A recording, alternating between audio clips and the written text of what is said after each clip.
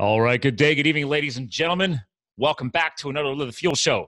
So, uh, as the same as the last couple shows, decided to do some live streaming. That's right. My my new guest co-host today uh, has some confidence enough to accept the live uh, offer. I don't really offer it to everybody, but I've been challenging more people with it. So, hey, in the Facebook world, they like to go live, and in the YouTube world now too. There's a tip. But hey, as we get into tips, let me give you a little skinny about today's guest co-host because we might be chatting a little bit about business, maybe some lifestyle. Definitely going to be uh, mixing some money and finance into it because really, I don't care who you are. You could be a not-for-profit or not, but money talks and BS walks. So anyway, without further ado, we got a chief investment officer at Plancorp, which manages four billion people, billion in investments for their clients. He is also the author of the new book, Making Money Simple the complete guide to getting your financial house in order and keeping it that way forever. And uh, we're having some fun with that today because I myself have already been going through that restructuring. So, anyway, he's built a national reputation as an educator with a unique ability to simply simplify complex issues, which explains, by the way, why Investopedia named him the top 100 most influential advisors. So there you go, people. So without further ado, his name is his website and his brand. Peter Lazaroff, welcome to the show, sir. Hey Scott, thanks for uh, thanks for having me. I'm glad thanks to be for, live streaming. Yeah, right. Cool. Accepted the challenge. No hesitation, by the way. Well done, sir. So, uh, that's, that's that's been something new. I mean, I pay extra for the webinar feature anyway. I just don't always do the podcast live. I'm like, you know what? Let's play around some more live. Why not? You know? Why not? And I've been running around with my kids all day, so I hope everyone can see how much fun I've been having. Uh, there was no work for me today, no camp, no school, so uh, had a big family day. So this is a fun way to kind of close it out. Well, let's let's we'll do a partial timestamp on the day of the week. We're actually recording, ladies and gentlemen, on the evening of a Monday. So he just so now a lot of people complain about the cases of the Mondays.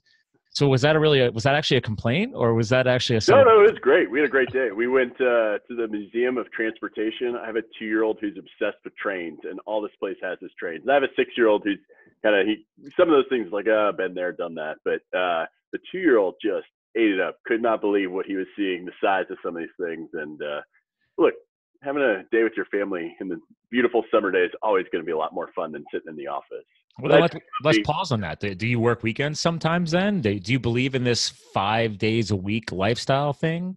What so what's interesting, I think, because my cell phone's in my pocket, I'm working every day. I unless I'm on my in July, I try to take a two or three week vacation where I totally unplug, and I feel like for me, that does a lot more than taking a week off here or a four day weekend there, because the emails just pile up and you feel compelled to answer and you know, I, I tend to be a little bit of a worrier so that when I'm away, um, can certain things that I've been pushing forward continue to move forward. But yeah, I definitely will work on weekends if I feel like it's necessary and if I want to. But what's really cool is a lot of the stuff I do is driven by things that just naturally interest me. So if I am working, it's I'm not unhappy about it. Um, it, it, and I think especially as my now that I have two children, when I had one child and he was younger he didn't seem to notice if I was around or not. Well, now he's six and he kind of notices. And so I don't work as much on the weekends or I try to work during naps or at night. Uh, but a lot of my work that I'm doing on weekends is reading. And that's, that's just not that big a deal. It's stuff I love doing. So. That's good life balance. So, yeah. I mean, I, I have a library behind me, but my digital library is way bigger. But a, a few of the gurus that I've had on this show actually always kind enough to remind me that you still can't beat uh, the mental benefit of physically turning a page and physically reading a book. So yeah, it's so interesting. So I'm like totally electronic now, and I use the Kindle app because I can read on my cell phone if I'm waiting online, or on my laptop, or on my iPad. And I thought about we we moved into a new house in December. I thought about getting a bookshelf, kind of making that background, and going onto Amazon and buying really beat up used copies of all my favorite books because I feel like I I should have a trophy chest that is a bookcase. Uh, but I do understand the the turning the page, you see the progress. Certainly, the searchability of notes for me has been a game changer. Uh, but also just being able to read whenever I'm waiting or you know have dead time. Definitely get get in my 20 minutes a day at a minimum. Well, so uh, since we're really kind of all of a sudden just jumping right into the whole family lifestyle balance component. So yeah, the reason why I asked about the five day thing is because you know back in the day when I was corporate life, I yeah, it was a standard issue, right? Like I think I averaged 60 hour weeks minimum, definitely five days a week. Uh, it was salary, so you didn't actually make any more. Uh, and I and you know I was young, so I didn't know any better in my twenties. I just assumed that well, every other leader was showing how hard they work. So I just I wasn't out like I do today. Like I wouldn't.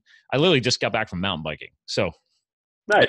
Yeah. So it's like okay, yeah, that's life balance. Back then, no, it was you work too late, and then you go out for a late happy hour, and next thing you know, you're going back and you're tired, and you wake up the next day and you put in another really long shift, and it's like, you know, is that really the lifestyle you want to represent for success?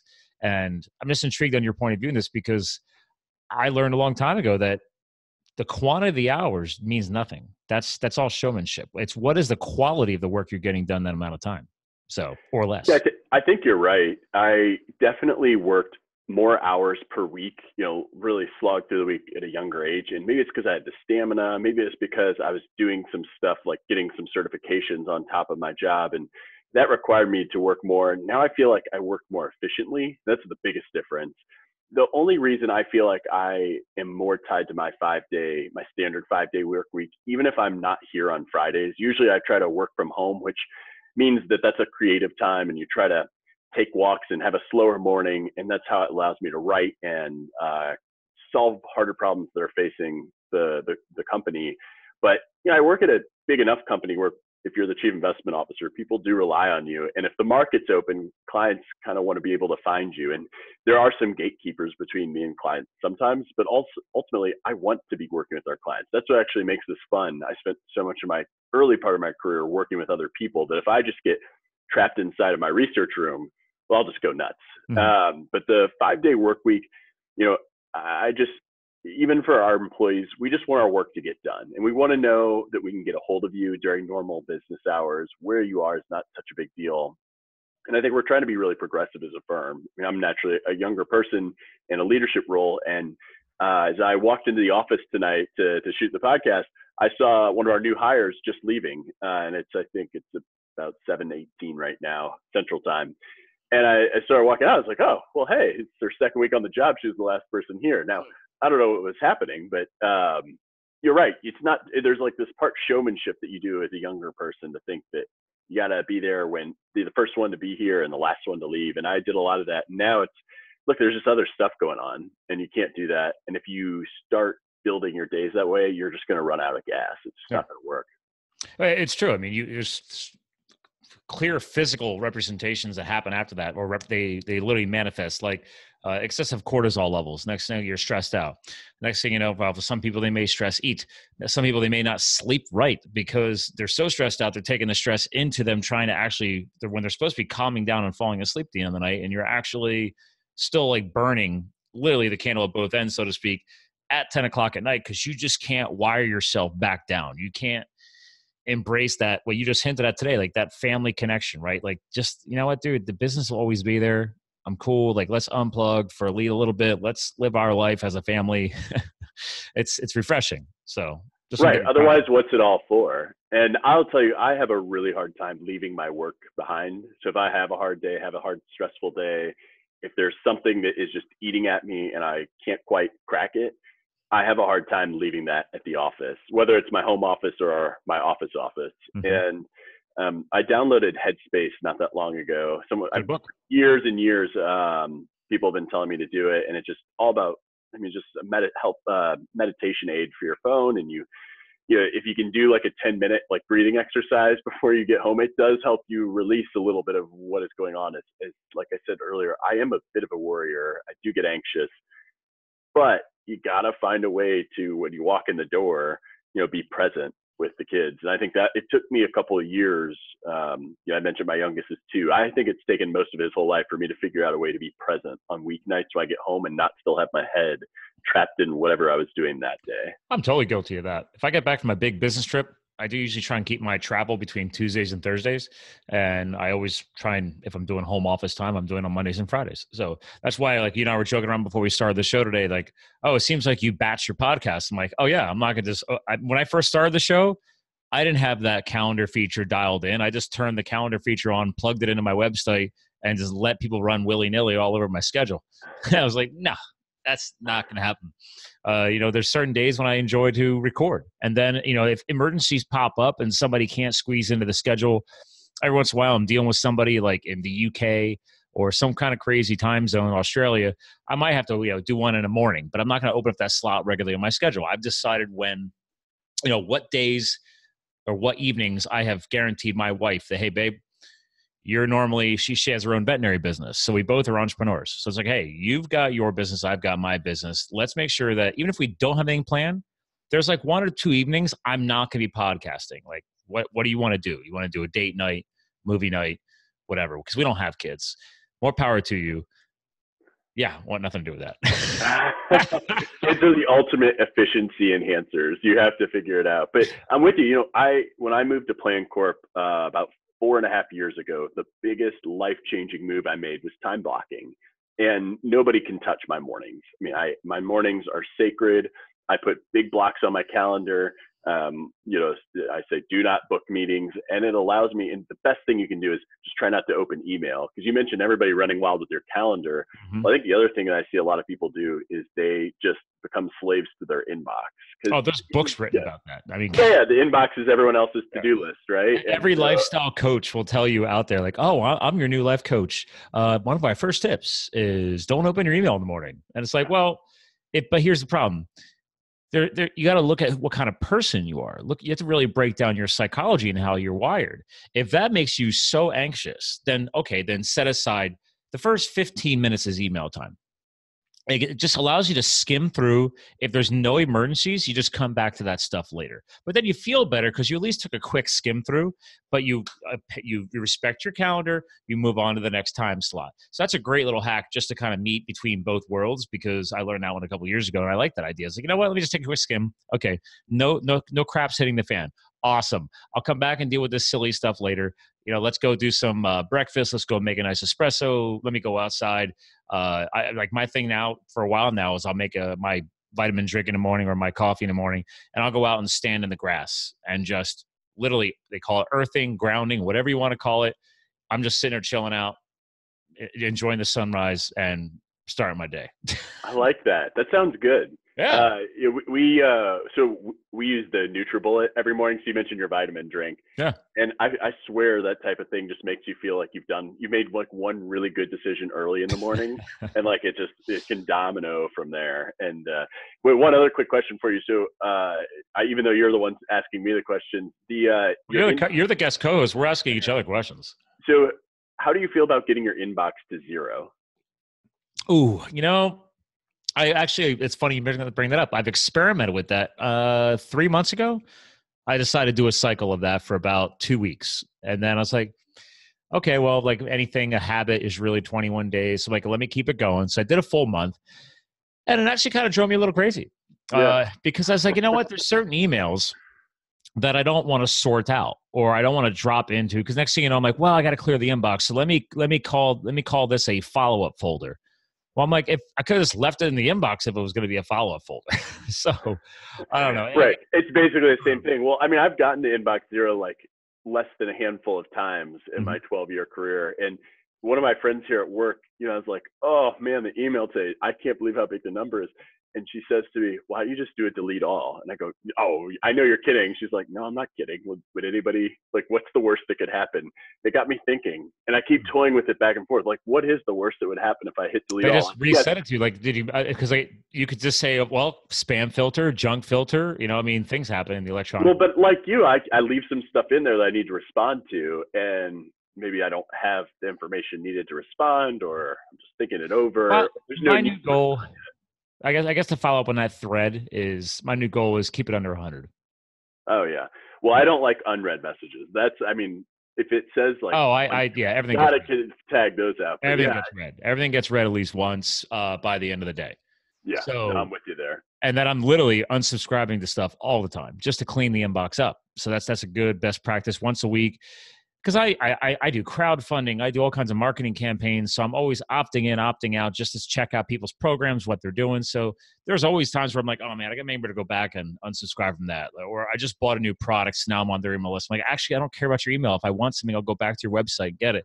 So there's those best practices too, is just cleaning up the junk. Um. Every retailer yeah. I give, uh, I have an email called Junk Mail Laz. Um, junk, junk mail what? Junk mail Laz. So Peter Lazaroff, Oh, Laz, okay. The junk mail Laz, and anyone can put. Even look, you can spam the heck out of me because it's my spam email. Like you know, if I if I sign up for something with a retailer or Yeah. you give your email out, I always put it there, and that way I, I have no idea what's in that inbox right now. I never open it. The cool thing about um, so all of the all of my clients, including myself, even though we have all custom domain, you know, Scott at livethefuel.com or podcast at livethefuel.com, it's we use actually use Gmail. The whole back end of our Yeah. email system is Gmail. So it's funny because when you say inbox, well, I actually have five different inboxes on my phone. I have my personal Gmail. I have my business Gmail. Then I'm a I'm a I'm the face of one of my clients' companies, so uh, everything I do is on their domain email. So I have an email with them and a calendar with them. I have one of my other clients. I manage his social media, so then he's got a special inbox. He just needed somebody to keep an eye on, uh, so I manage that inbox. So it's like, yeah, I got a few inboxes. So inbox zero is not really a thing for you then. No, I mean, well, I look at it from a okay, depending on the business of each box. Uh, one I keep under twenty. One, um, one I'll keep. Like my personal one, is, uh, I'm always keeping that at zero. That one's easy. That one makes me feel Yeah. good. My business one, I'm always around fifty because there's stuff I want to keep in there as a follow up. And then my one client, that that thing is huge. I mean, there's I'm lucky. I, I, that's why it's like you know what, give it a hundred. I'm fine. That's cool. But to your point though, everything gets read. So that's I, I can't I can't stand that. I was like, dude, at least take a peek at it, you know, and then you could flag it for follow up later, not unread, not unread. Right. No, no, I'm with you on that one. Uh, I'd much rather spend time reading at night than going through emails. So anything I can do to be efficient, I, I try my Yeah. best. Well, since we're talking all about these hacks and these little tips, and we're sharing best practices, I say we dive right into your book because we're talking about books, we're talking about Cool. reading, we're sharing all these little other personal hacks. And let me tell you something. Let me just go ahead and start this off, ladies and gentlemen. The book is Making Money Simple, right? I am the guy who did not make money simple, Peter. Okay. Now, my wife is like the perfection of money. So, uh, because her father was a, well, he just he retired two years ago, but he was a CFO and like high level accountant and ran three different, five different companies. And yeah, so she was brought up to never have debt, never carry a balance over, uh, has had investments since she was a little girl. and then it's like, then it's me. I was not brought up that way at all. Things just got spent a lot. Uh, so I'm intrigued, like what inspired the book and what is your target audience on people you're trying to help with that book? so I always wanted to write a book. I don't know how I got so inspired to actually do it. I know my wife was pregnant with our second child and she was going to bed super early. Um, my then I guess four year old was going to bed really early and all of a sudden I had all this time and I was just sitting around 8 p.m. and just writing and I would I think there was one night I sat and wrote 5,000 words and I go, you know, I think I could actually do this. And so I made an outline and you know, really, I was just telling the story of how I built a system just for myself and my family and my clients. And, you know, it's something I do every day. So it was really easy to come out on paper. And when I always thought about writing a book, because investments are somewhat of my expertise, I figured I'd always write an investment book. But this just came out so naturally. And it was really fun and exciting, particularly on the front end. Now, I'll admit, editing a book, um, the feedback portion, all the production part is really hard, but the actual I'm stuck in that writing- phase right now.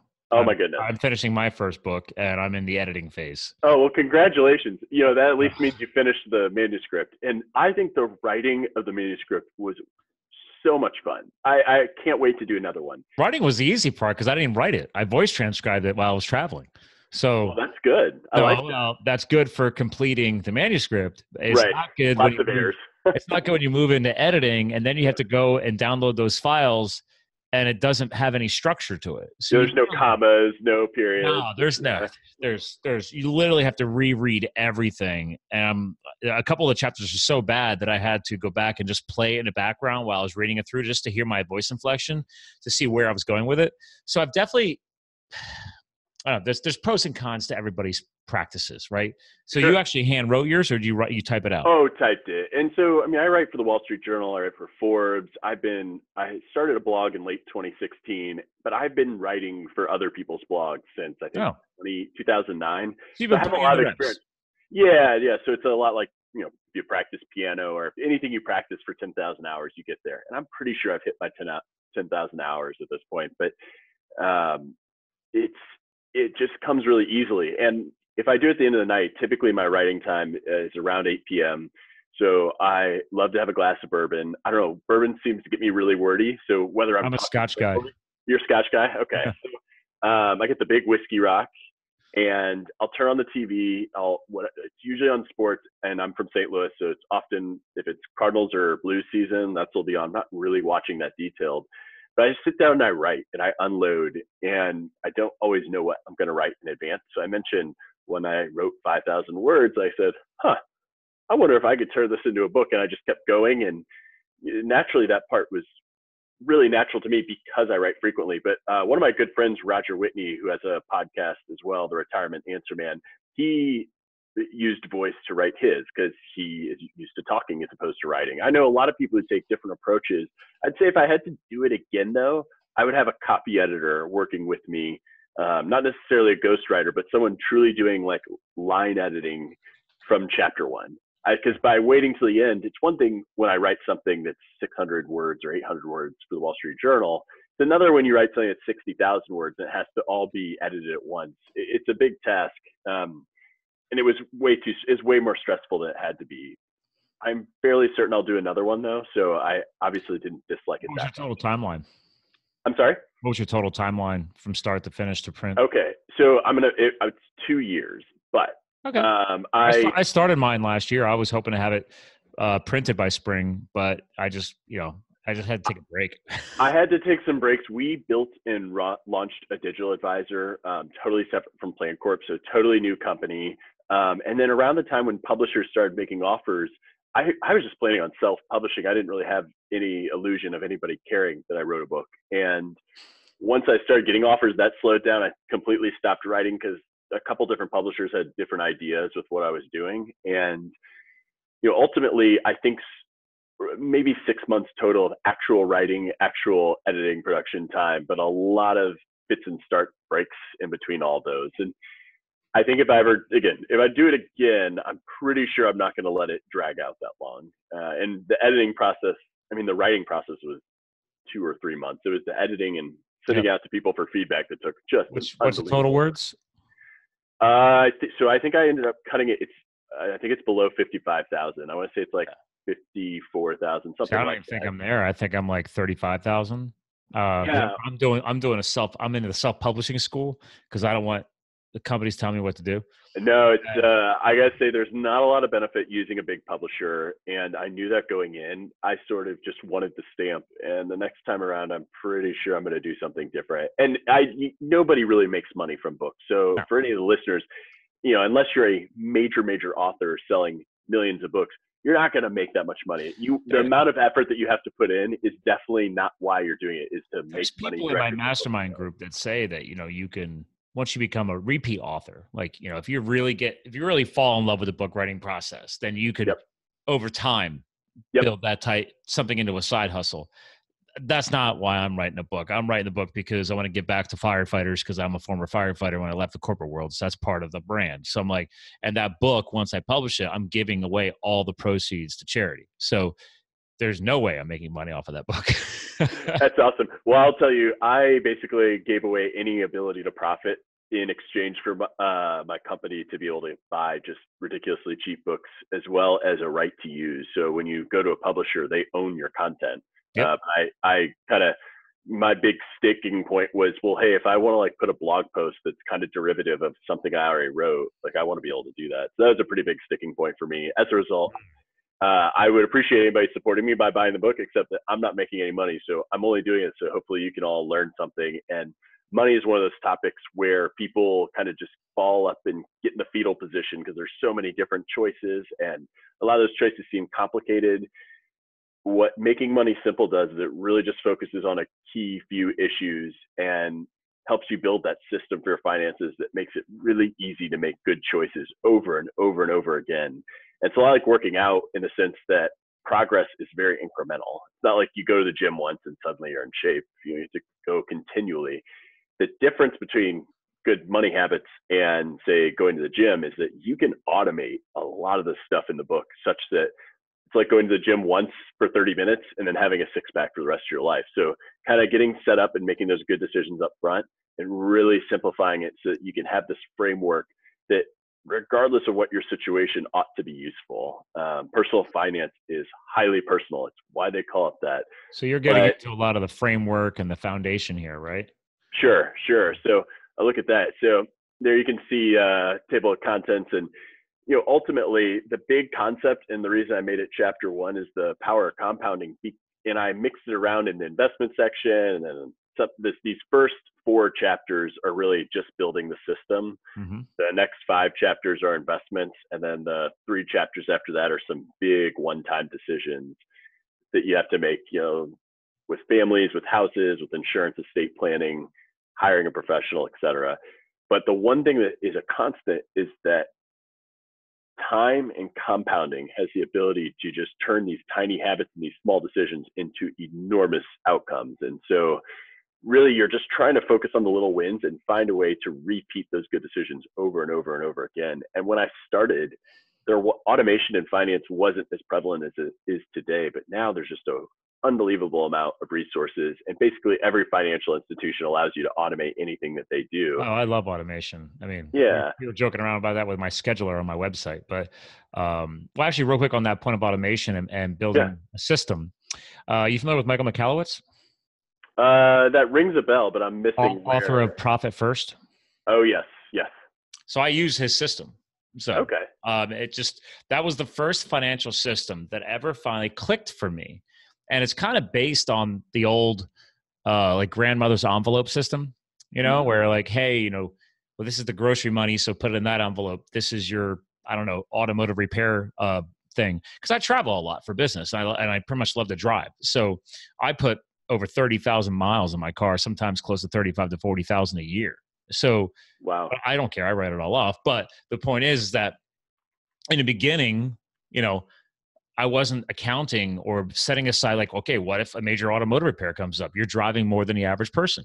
So the whole point was I sat down one of their they actually have like a profit first, I don't know, counseling group, whatever you want to call it. Advisors at a different level. They're not like official financial advisors like you. They're just uh-huh. teaching uh-huh. you their system. And that became a foundation for me and i've loved it for over two years now because hey i've got i've got an account set aside for for educational like continued education going to conferences books etc i have an account set aside for any kind of automotive concerns. And here's the thing if i never spend that then that money uh, keeps growing and then basically that's the next car. Yep. You know? So it's it becomes hard coded so. Yeah it's really effective and and i think that's not all that different from what I talk about. Uh, I, I, refer to as reverse budgeting, where basically um, I have these worksheets. You can download them at wealthworksheets.com and you set these goals and you find out how much you need to save every month to meet all these goals within the next five years and there's goals for five to 15 years and is it different than the ones on your site? Because i'm going to screen share again. At uh, peter yeah, so on your resources here. Yeah so when you go to uh, just because most people can't spell lazaroff i have wealthworksheets.com that will redirect to this page that you're showing now. Oh really? Yeah. That's your site? Wealth worksheets yeah. All right. Yeah, so that way, if you can't the, in the show notes. So um, yeah, wealthworksheets.com, and it will redirect. Uh, you have to put in the URL for it to work. Otherwise, you get all these other people who like my my URL. So go up oh, to the, yeah, they do. Yeah, yeah. So wealthworksheets.com redirects to my website and the resources. And that very first oh. one, the goal planner, it basically what it does is it helps you kind of establish goals for short term, intermediate term, and long term and you just figure out what you need to save every month and you create accounts for those. So there's a car account, there's a vacation account, there's a retirement account, there's an emergency fund account, yep. there could be kids accounts, and you just you automatically send the money that way, and then you don't have to think about it because um, traditional budgeting is really really painful. You have to track expenses every week, every month, and most people just won't do it. But you can't spend things that you save. So if you focus on the saving and paying yourself first and you create these specialized accounts, much like you have yourself, it just makes it so much easier. Well, um, I love your cash flow worksheet. Uh, figure out how much cash flow you have available to dedicate towards your goals because the reason why I click so well at profit first, and it sounds like you kind of teach the same thing here, is that he's really targeting the entrepreneur, you know, the business owner. So admittedly, what you have here is targeting everybody. So you can actually help the, the W two person. But sure. Um, you know, for, for hit, the whole reason why his book was re-released a second time because it's a bestseller uh, is that you know the average entrepreneur like I was, I came from the W two world, so I I didn't have a tax account. Uh, okay, well that became hard coded because as soon as you skip a couple of uh, quarterly payments, and then you wait for the end of the year and your accountant comes back to you and says dude you owe thousands of dollars in taxes. You're like holy crap. Um, i learned that real fast. Yeah. So, having a tax account but the other big thing he teaches you is that you know since you're not w2 he said even if you don't if you don't have employees you are your own employee he's like so you have to pay yourself. So he's like so one of the most key things in his system was the owner's pay account. Like are you paying yourself? Yeah. so that's you know and it's i never really thought about it that way but it's like yeah he's like if you fired all your employees tomorrow you're still the number one employee. You got to pay yourself. And then and then another cool thing that he taught us was obviously having the profit first account meaning you like in the beginning i hard coded 10% sorry 2% of all gross income went to the profit first account. That had to be account in another bank that i couldn't touch and i didn't have a visa check card except or anything and then once a quarter you give yourself a quarterly distribution. You take all that money and you have to go have fun with it. Like you don't don't reinvest it in the business. Consider that your bonus. Consider that it's like, hey, most business owners never get to enjoy their profits. So he's like, that's why you hard code a profit first account. Is you have to you have to reward yourself and enjoy the process as you grow your business.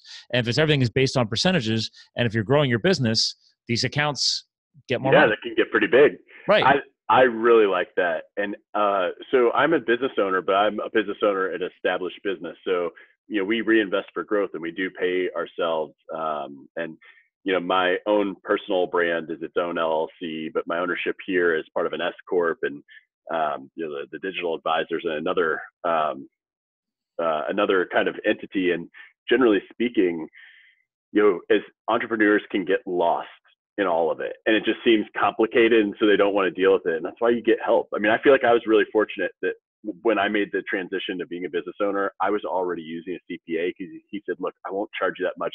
You're going to be a great client for me because you're to have all these different business returns but you're going to need me there when it all mm. happens and i trusted him and like you said the, those, you make those estimated tax payments you think oh my goodness this is this is really painful to part and you know, I think that's a lot of the value. And I was doing this before I got here. When I got to Plancorp, I, I, one of the big values that we add, you know, a lot of investment advisors, it's all roughly the same over a long period of time. You know, people do well, they do well.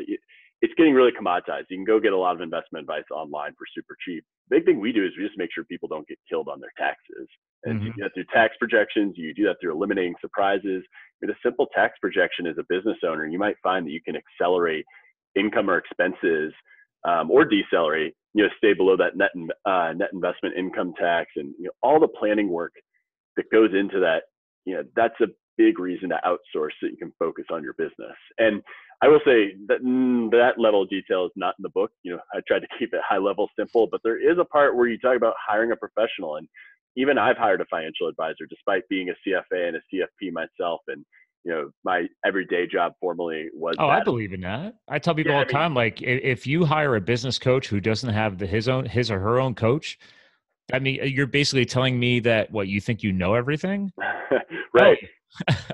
That's exactly right and even let's say you did know everything it's still nice to have an objective third party there. And um, for someone like my wife, who kind of handed me the keys to our finances, and she says, "Well, you do this, you know, you just be in charge." And we have little money dates. We used to have them every quarter, but with the kids now, we probably do it once or twice a year, where we kind of go over those worksheets that you find on my website and talk through things. But having a financial advisor, I feel like has given her more of a voice. I always felt like she challenged me, but it feels like now that there's another person there that she can ask questions of, it feels like she's even more talkative. So it's been really important. Plus, it's I don't take like, care of myself. You know, it's almost like a what do you call it, a relationship counselor or whatever you want to call that. Like you got to have that third party that has mutual respect for you both. You know, it's like, hey, I'm just here to to cross the T's, dot the I's, and help bring people together and help get everyone on the same page. I'm not here to pick sides, you know. Yep.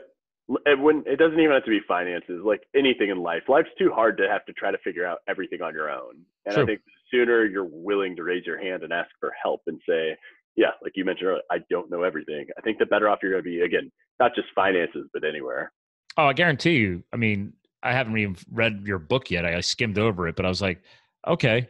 I, I get sent a lot of books. There's a lot of authors now. Dear God, you get you launch a ladies and gentlemen, you launch a podcast. You're adding show. to the pile. yeah, you yeah you, you launch a podcast show. All of a sudden, books start showing up. Like, hey, we're we're sending you a book. We want to see if you can bring them on the show. I'm like, okay, great. Well, okay.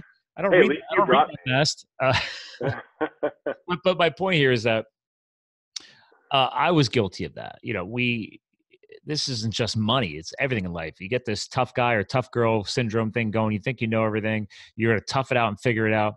The sooner you ask for help the sooner you show that vulnerability be willing to embrace it and just get another opinion. It doesn't have to be there you can get two or three opinions because uh, maybe one of the opinions is really bad you know but if all the opinions start averaging out and saying the same thing okay, at least you're out there asking and you're checking on yourself instead of just living all by yourself in your little cave and thinking that everything is fine.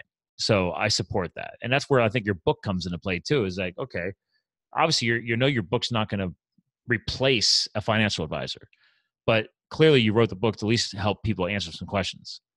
Yeah, I mean, when I wrote the book, I figured someone can definitely do it themselves. It's not rocket science. It's more like mowing your lawn. And you know, I used to mow my lawn at my old house. Uh, part of the reason we bought our house in 2010 was the the one that we actually chose because it had a big yard. I always wanted a yard, and so I wanted to go mow it. And I'd never mowed the lawn growing up. Uh, my dad always mowed the lawn, and uh, the first time out doing it, it took me about three hours. And eventually, I got good at it, or maybe it took me 90 minutes and I did a fine job. I didn't mm-hmm. kill my grass, but the year that I hired somebody to do it professionally was the year my son was born, my first son was born, and I was studying for the final level of my CFA exams. And I remember, oh my gosh, it looks so much better. And it's because they're doing all these things that either I was too lazy to do or forgot to do or didn't even know was something that you would do. Like cutting the grass different lengths depending on its sun exposure or cutting grass in different directions every so cuts or seeding strategically and edging the edges, the edging, edging the flower beds and yeah. So, yeah, I didn't kill my grass before, but it looked dramatically different. And yeah, so once they once you hired that professional, they made it look professional. That's right. And so um the book gives you everything you need to do to cut your grass. But if you let a professional cut your grass, it's going to be better. And chapter 12 in the book really focuses on that. It not only identifies the value of having an advisor, but also goes through, gives you um, a strategy for interviewing advisors that helps remove some of the behavioral biases that come up.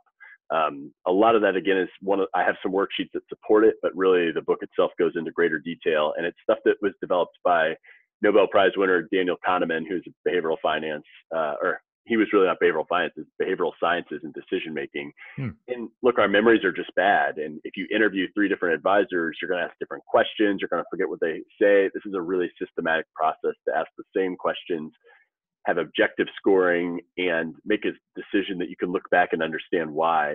The biggest mistake people make when they hire an advisor, they just don't spend that much time doing it. I mean, it's a huge investment to hire somebody. Mm-hmm. Why not put some time into it? So you're saying people rush the hiring? Yeah, and I don't think they really review their options enough. Um, I think you get a referral and you just take it and run instead of asking people the hard questions. Well, I mean, you know what? This happened to us last year, picking out a, uh, somebody to, to, put a brand new uh, concrete patio in behind our house. You know, it was like oh well so and so does it and he works on my property and he's an amazing lawn mow guy. Well just because you're an amazing lawn mow guy doesn't mean you know how to pour a freaking patio. Um, we're we're, well, we're still in the courts in regarding a lawsuit. I'll just leave it at that. Um, so there you go. Maybe spend a little more time making sure that their business name is actually reinforced with actual skills because they call themselves educated landscaping and there was nothing educated about it. I'll just say that. So, but anyway, uh, enough said on that. The point is, I love that point. Like, guys, like this is your money. Like, maybe dig a little deeper. You know, maybe interview three or four different advisors. You know, go with the one you feel most comfortable with. What's the what's right. the pedigree? What's their portfolio? I don't know what what other stuff gets asked about. Well, how else would you expect somebody to dig deeper into that? So uh, some of the things that I lay out on the website is, or excuse me, on the website. Well, I do it on the website, but in the book is you look for someone with the right background and education. So you're looking somebody with who's a CFP, a certified financial planner, or a CPA, or a CFA, who's a chartered financial analyst. Those are kind of the three, in my mind, gold standard certifications for giving financial advice. You definitely want them to be a fiduciary at all times. And so people in my industry are obsessing over something right now in the news that the SEC put out this fiduciary law. You have brokers and you have people who are actual advisors. Hmm. And then even worse, you have some people who wear different hats at different times. So you don't know when it's actually in your best interest. And so what you want to do is find someone who will, in writing, say at all times, no matter what, they'll act as a fiduciary, which means they'll put your interests before their own. So when you go to the doctor, you don't like wonder if they're prescribing you medicine because of the kickbacks you're getting. You just know that the doctor's trying to make you well. Well, I'm, I'm gonna argue that one. well, you, that's a whole different podcast. I come from parents of doctors, so maybe I'm I'm biased. Uh, but also, I mean, you probably have great parents. I mean, but generally, you go to a professional, you ex- or you know, you go to an attorney, or well, they can same. I can see where you can make the same argument, but generally, if you go to someone, you should trust that the advice is not in anyone's interest but making your financial life better. Yeah. And there are so many different titles out there and designations and words that just confuse people. And you, know, you might ask somebody, "Are you a fiduciary?" And they say, "Yeah, of course. We always ask, act in your best interest." Like, well, so are you a fiduciary? Yes, we ask in your best. You know, you know, will you put it in writing? Well, you know, compliance might not be okay with that. So really clearly got to. Why would compliance not be okay with that? Well, because people who are claiming to be fiduciaries aren't actually fiduciaries, and oh. so you got half these people um, in the workforce who are saying, you know, throwing away, throwing around the word fiduciary. Uh, like it means nothing. And so, do you have to be certified at a certain level to qualify to be a fiduciary? So really, what it requires is that you're regulated by the SEC. Um, mm-hmm. brokers, people at the big wirehouses, they're self-regulated by a different body. And so SEC registered firms are people who are fiduciaries all time. Now there are some people who are duly registered, but yeah. let me make it real clear what the difference is. You go to the Toyota dealer, you start describing what would be, um, you know, a Toyota Tundra, and you start giving all the the uh, the details. Oh, I kind of got my story background. Let's say we go to a Ford dealer. We're, we're describing a Toyota Tundra. Oh. And the dealer, the dealer who's not a fiduciary says, well, it sounds like you need an F-150. They're right over here. Whereas the fiduciary would have to say, actually, it sounds like you need a Toyota. That place is down the street. You should go down there. And they lose the sale. Mm. And so all that people have to do when they're not fiduciaries is it has to be suitable. It has to be roughly like what you need. And that standard is really important. Um, I have a lot of resources on my website dedicated just to that one topic because it's a small distinction, but it's an incredibly important one. And why wouldn't you want to work with somebody who, by law, is required to put your interests first? Oh, I, I respect all that stuff because I I'm not I was not at that level, but I had gotten I tried. I thought I was going to enjoy getting into the finance world. I studied, got my Series Six and sixty three, and so I was dealing with small business retirement, uh, working with uh, the big ADP corporation. Okay. And I don't know if this is still true, but when I was there uh, when all all the world's finance went to crap, including our own country, ADP was still the only AAA certified uh, company financially, which was, I guess, cool, but also like, man, that's sad. Like our country was no longer AAA rated anymore because of our debts to China. That's right. You know, well, like, wow. ADP like the paycheck people, right? Yeah, yeah, yeah. Yeah, yeah, yeah they had a whole retirement division.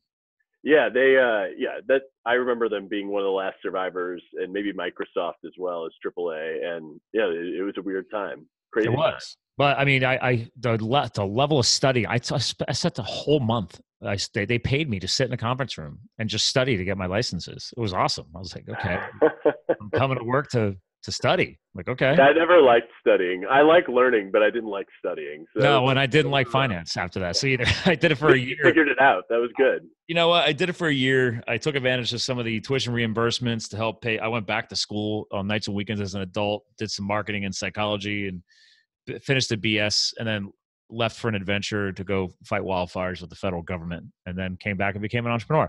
So there's a fast forward story. Uh, but so it's like, listen, I tell people time, like, you know, you think you're going to like something, you don't move on. And uh, my old boss, I even told him, like, listen, I need you to terminate me. And she's like, you're number two in sales. I can't terminate you. I'm like, yeah, you can. And she's like, yeah, but it's going to affect your licenses. I said, yeah, I just want the unemployment for 60 days while I move out west to go fight fires. And she just looked at me and she's like, Scott, you're crazy, man. But all right, whatever. She's like, I'll fire you. I'm like, thank you. I, I, literally negotiated my own termination just to have that 60, 90 day buffer to help me cover moving costs. I had never used unemployment before that. So I was like, hey man, I, I worked my ass off. I might as well take advantage of it. So you pay taxes, so you know you're you were now you're paying it back, right? Oh yeah, there I, you go. I still pay a lot of taxes. but anyway, so, so, some people are meant to be in finance, like you. Other people like me, I'm like, nah, I'd rather pay professionals like you to take care of that for me. So, uh, I, I, I totally respect the power of outsourcing. I'm currently interviewing new VAs right now because I want to hire a new VA to take over a good chunk of this podcast because the podcast doesn't make me money. This is fun. Um, I help grow people's brands and their exposure and everything else, but I purposely don't bring on advertisers because I can't stand advertisers and commercials on a podcast. It drives me crazy. So I was like, there's no way I'm going to do that.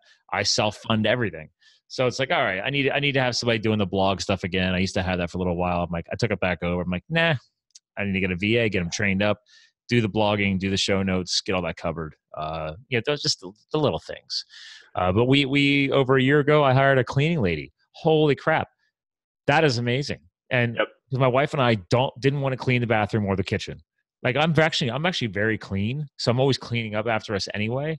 But having just once a month, we're actually pretty minimal just once a month. It's two of us and a dog. That house, I come home from a business trip, it is just dialed in. it's the best. It's, it's like awesome. one of those expenses that once we added, if we had to like cut back on stuff, I feel like it's probably the last thing we would touch. Well, especially you guys. I mean, it's like with kids and everything else. Like, uh, man, like I, mostly you just have to pick up. I mean, I think every night after dinner, I take a little Swiffer under the table. So you you mentioned no one wanted to clean the kitchen or bathrooms. I feel like I constantly am cleaning the kitchen. I am always cleaning the kitchen. I'm with you on that. I am always cleaning the kitchen because I cook. So. Yeah, well, and I don't cook as much as I used to, but even then, I just I don't like a dirty kitchen. No, same way. Yeah, I'm always wiping it down. Like I, I can just walk by, fill up a glass of water, and just give it a quick wipe down. Yeah. Well, I can trust that one of my kids left like a bowl by the sink or you know food on the ground, and so there's always something to clean up at the moment. Um, I oh, you said you have a six-year-old and a six-year-old and a two-year-old. Two-year-old, yeah, yeah so, that's like, totally we possible. The cleaning people come through, and the big thing is getting everything picked up before they come. Yeah, how about that? Like you, you're paying to have a cleaning person, and we literally clean before the cleaning person comes. That's right. That's right. Well, that's what I used to say when I was younger, and uh, I remember my mom getting really mad at me. But uh, now I get it because if we paid the cleaning people to both pick up and actually clean and make the house not like dirty, I think they'd be there for an entire day. We can't yeah. afford that. Yeah. So yeah, uh, as it is. These people come here for like two to three hours. I don't understand how they're making enough money. Uh, but I'm like, I don't care. I appreciate the rate. And you want to sit here for two, three hours to clean my house, you go ahead and do that. There's a lot of research that shows uh, purchases that create time like that are things that directly correlate to happiness. You know, there's a, a, handful of things that you spend your money on that actually make a difference on your happiness. And experience is one, and spending on purchases that create time and mm-hmm. gifting. Mm-hmm. I mean, that's another one. But you know, those are all things. And actually, I do touch a lot on this in the book, and I just think it's so important to you know, I as obsessed as I can get about saving stuff is to understand where to put the money to get the biggest bang for your buck. And man, that that cleaning service, and same with our lawn. Like I don't really feel like mowing the lawn anymore. Like I'm just done with it. Uh, I could care less. I'm already done with it. I grew up having to mow over five acres of lawn on, on my farm. Oh, yeah. So, and then I move in here, and my wife's like, "Hey, I she, her her her brother does very well financially, so he hired a land, landscaping service. So he had like a brand new, beautiful lawnmower, and he just gave it to us. So she's like, "Hey, look, you, you can mow the lawn faster." I'm like, "I don't want to mow it at all. like, I'm already ready to outsource it." So I, am I'm, I'm still doing it. We don't have that huge of a lawn, but uh, we're looking at a new place in the next year or two, and then this how this property will get flipped into a full rental. Uh, so this will be our first official move into the real oh. estate investment. And I was like, "Yeah, as soon as that happens, I'm hiring a lawn service to take care of both properties." There you go and uh, that'll go under the operational costs of property and management. So I feel like if I had a ride mower, I might have enjoyed it more. Yeah, I enjoyed it at first because it was like one of those tasks that there's not a lot of tasks that you can sit and completely finish, and you know that something on your to-do list is just like starts and finish all at one time, like no interruption. So I liked that component of it. But I also just you know, just got tired of it. But I think my neighbor at my old house had a ride mower. I kept it looked like fun. Like he'd do laps around his house at the end, like he's driving it like a race car. And I'm like, yeah, I could maybe get into that. But uh, we ultimately hired somebody before I went down that went down that road. Well, I just love how we're kind of ending ending on a on a fun note because I think big picture, this kind of circles back to your book and why I was looking forward to chat with you today because we are at the end of the show here. Is that you know this is why you need to make money simple so you can reward yourself and say, wait a minute, how much time am I spent cleaning the house? What is it worth to have my wife and I come home and have a fresh house like once a month? And then all you got to do is just, you know, maintain between. Same thing with like the podcast stuff I'm about to outsource. Same thing with uh, the lawn stuff. It's like, dude, what is your, what would you rather be doing? I'd rather be mountain biking than, than mowing my lawn. yeah. So no, I'm with you. I'm with you. Well, look, if uh, if if the listeners out there, whether you're entrepreneurs or salaried, if you're trying to figure out like, well, how can you get this a little further? Um, I did when I wrote wrote the book, create an assessment that kind of nine questions tells you three, four areas to focus on right now, where you can maybe make some improvements to get to this happy place. It's uh, smartmoneyquiz.com. Oh, does that go somewhere on this site too, or is that a whole different site? Uh, it is a different site. It points you towards resources here, but yeah, I have to deal with the fact that Lazaroff is not uh, that easy to spell. So you can tell I'm into these multiple URLs. Didn't gets you to peterlazaroff.com. That outgrow, you know, outgrows the service I use to there you go. Uh, to hold on the quiz, but it's nine questions, real easy, points you where to go. Um, you know, if you're not sure on what is the hole within your plan, and so uh, go ahead and check that out. It's designed yeah. to be easy to use, just like the book. And uh, hopefully, you can buy a ride, buy a ride mower, and drive it all around your house, and not actually mow the lawn. we, we have a very large riding mower. It's actually too big for our lawn because the guy he had like he had like three acres and he, he bought the biggest one he can get. I'm like, all right, I'll just stick it in the garage. We'll use it for the next property. So, uh, well, so listen, Peter, I always have my guest co-host help close the show out with some final words. So, thanks for sharing the assessment. We're definitely going to get that. Uh, actually, what was the original URL again? Because it already rerouted. That's right. Smartmoneyquiz.com. There we go. I'll make sure that goes in the show notes. All right. So that aside, is there any final words, all-encompassing message you want to want to sum up? Like I don't know the book. Obviously, it's a legacy. What you, what's what's the big message you're trying to put out there? People trying to uh, figure out Peter. Uh, yeah.